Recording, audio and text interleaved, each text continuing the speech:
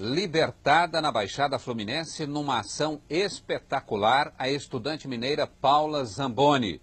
A menina de 13 anos é filha de um dos maiores atacadistas de alimentos do país. Paula foi sequestrada na porta do colégio em Além Paraíba, Minas Gerais. Foram 17 dias de angústia e medo. Hoje a polícia invadiu o cativeiro e prendeu os sequestradores, todos da PM Fluminense. O que, que houve, gente? Pelo amor de Deus, Jesus, eu não sei, meu pai! Policiais localizam o cativeiro no alto de um morro em Nova Iguaçu, na Baixada Fluminense. Eles se espalham pelo mato e cercam toda a área.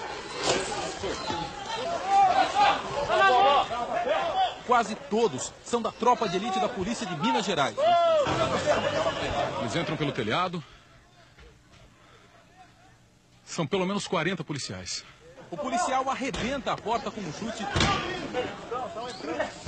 E a casa é invadida. O momento é de tensão. Foram disparados cinco tiros. Minutos depois, o sequestrador é agarrado e preso.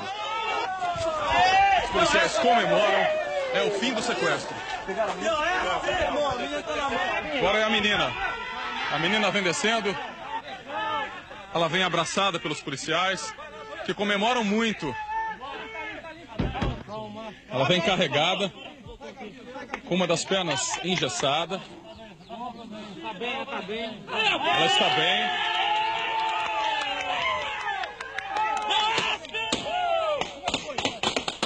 Os policiais dão tiros para o alto. E se cumprimentam. Refém e sequestrador ficam lado a lado. A estudante é levada para o carro da polícia, onde estão outros dois sequestradores presos de madrugada. Tô feliz na hora que eu escutei eles, uma mulher lá gritando que a polícia estava invadindo o morro, eu até fiquei feliz. Os três homens são da Polícia Militar do Rio. Os outros dois, também da PM, fugiram. Paula Zamboni e os policiais fazem pose para a foto e comemoram juntos a libertação. Depois de 17 dias de medo, a estudante conta o drama no cativeiro. Eu acho que eles fossem me matar e eu nunca mais ver nada. A primeira pessoa que você tem encontrado. Não. Minha mãe não Daqui, a estudante foi direto para Além Paraíba, para encontrar com os pais.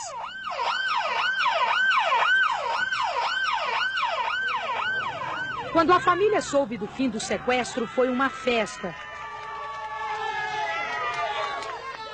Logo depois, milhares de pessoas com cartazes e flores esperavam Paula em frente à casa da família. Os parentes chegavam a todo instante. Da janela, a mãe da estudante acenava para as pessoas na rua. Foram quatro horas de espera. O helicóptero foi o sinal de que a estudante já estava perto. Três e meia da tarde. Neste momento, Paula Zamboni acaba de chegar a Além Paraíba. Ela está acompanhada por policiais.